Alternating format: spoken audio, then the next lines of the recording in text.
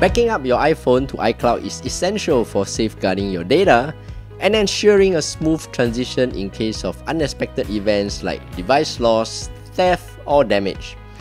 Some other advantages of backing up to iCloud include seamless data transfer when you purchase a new iPhone and also automatic backups of your important photos and also iCloud Drive, notes and reminders.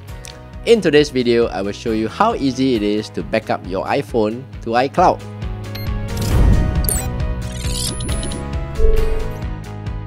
Hey, what's up everyone? I'm Steph and in this channel, I teach you quick daily tech tips that make your life a little easier. On your iPhone, go to your settings, tap on the top that says your name, Apple ID, iCloud and media and purchases. Then, tap on the iCloud option. Here you can see I have 5GB of storage which is given to all basic users who has an Apple ID. Under apps using iCloud, you can choose which apps you want to sync and backup to iCloud by tapping on Show All. Here you can check on or off apps that you want to backup to iCloud. Once you're done, go back and you can see that under Device Backups, the option of iCloud Backup.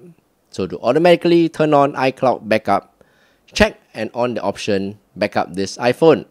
And your iPhone will automatically backup data from the apps that you've selected earlier. If your storage is full or nearly full like mine, you can opt for an upgrade of iCloud Plus, which gives you more storage per month for a small subscription fee.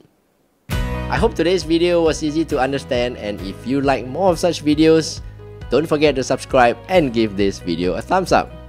Until the next video, I'm Steph, take care and bye bye.